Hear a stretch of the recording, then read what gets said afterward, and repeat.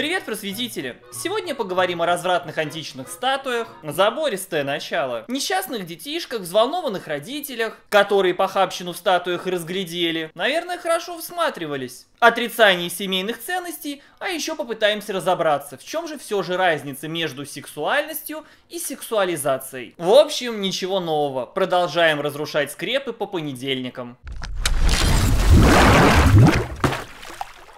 Мы с вами неоднократно на этом канале говорили о мире манной каши. Так я называю попытки особо сердобольных товарищей запретить все. Реально все. Что является частью жизни взрослых и может хоть как-то повлиять на десятилетнего тугосельку. Книги, фильмы, песни, игры. Список можно долго продолжать. Выставки, мороженое, радуга, целые группы населения.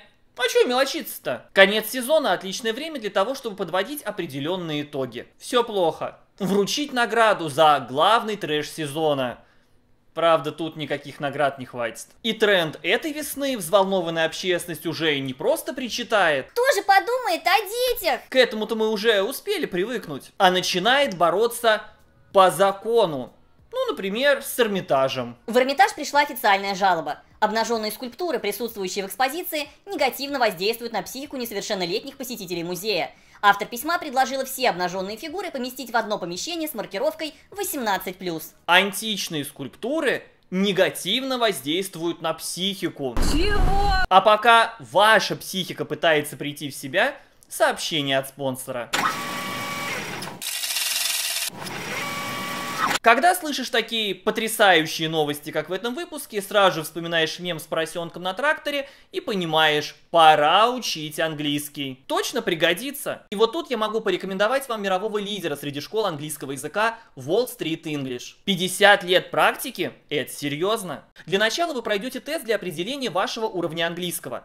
А затем выберите цель обучения, ведь многое зависит именно от нее. Заниматься вы будете тогда, когда удобно именно вам. Ведь Wall Street English является единственной онлайн-школой в России, которая предоставляет расписание уроков на 22 часа в сутки. Одна из главных особенностей обучения – Global Teaching Community.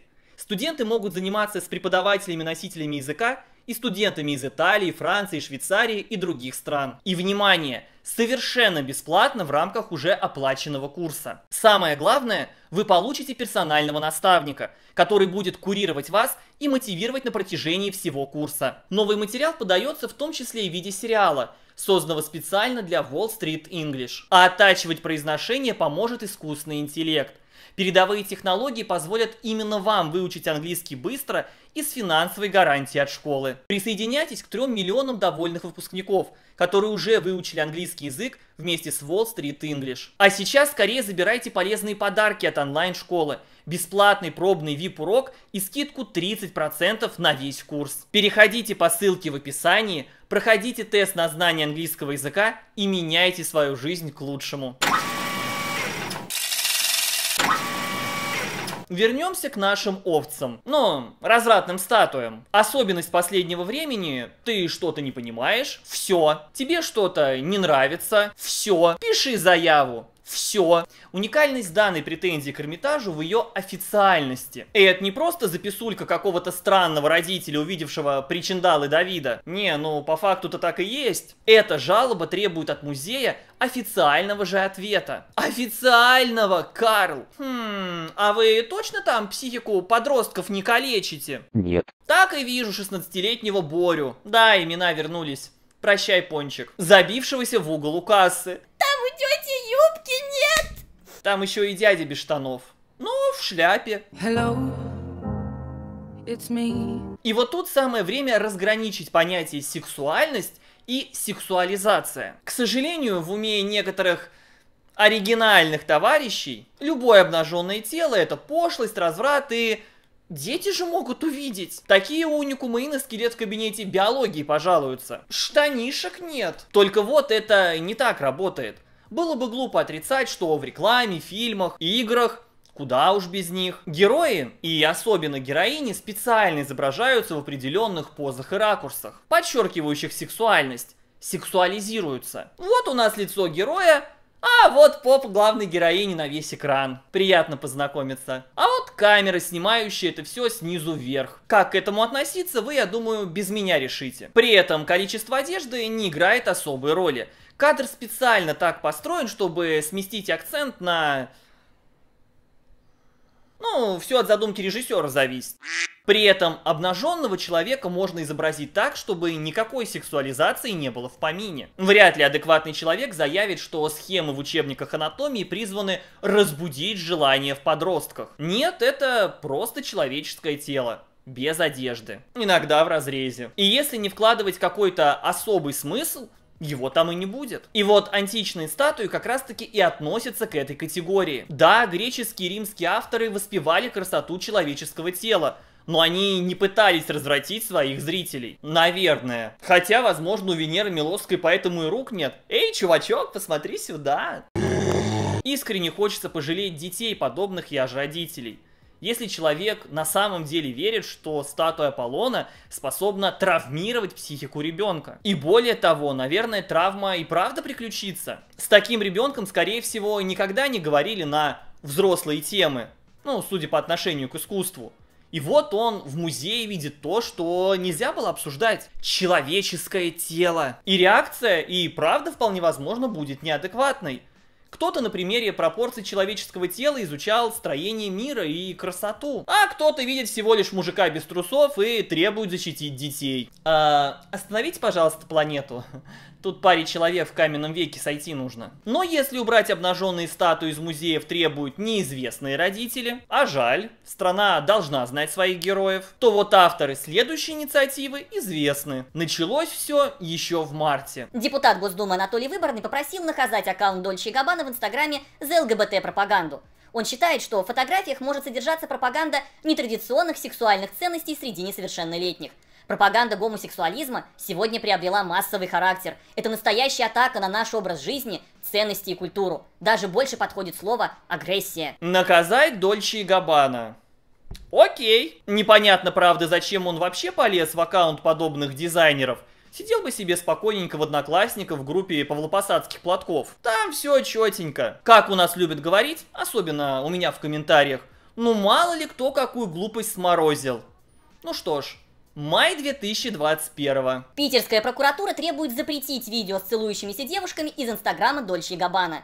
Ведомство увидело там отрицание семейных ценностей и пропаганду нетрадиционных сексуальных отношений. Мы сейчас не будем обсуждать сам закон о пропаганде, семейные ценности, отрицание чего бы то ни было. Вы и без меня в этом вопросе разберетесь. Нет. Меня другое пугает. Депутат, а вслед за ним прокуратура требуют что-то сделать с итальянским аккаунтом, потому что он разрушает российские семьи. Вы просто вдумайтесь. Нет, ну по такой логике нужно всем представителям ЛГБТ запретить контент в интернет выкладывать. Представляете, какая-нибудь лесбиянка из Нью-Йорка опубликует фотографию со своей девушкой? Разврат похлеще античных статуй, скажу я вам. И это Маруська из Новосиба увидит.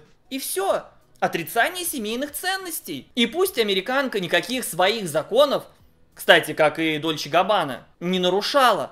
Но ведь в нашей же стране пусть уважают. Аж интересно стало, как с подобными иностранными аккаунтами наши защитники семей будут бороться. Ну, только запретить интернет, Мало ли кто какую фотографию в Новой Зеландии опубликует. Димочка, закрой глазки! Потому что, сюрприз-сюрприз, иностранцам как-то наплевать на этот закон. Бесстыдники. Помните, как относительно недавно олимпийский чемпион Алексей Ягудин возмущался, что американский фигурист Адам Рипон посмел на своей странице в Инстаграме об ЛГБТ говорить? В России же пропаганда запрещена. Вот тупой америкос не подумал. Ну что с них взять? Сидит себе в Майами и не понимает, что своими словами разрушает в Москве семейные ценности. Очень надеюсь, что такие защитники детства никогда не выводят своих детей в Европу. Потому что там подобных габан можно прямо на улице встретить. Идут и не стесняются.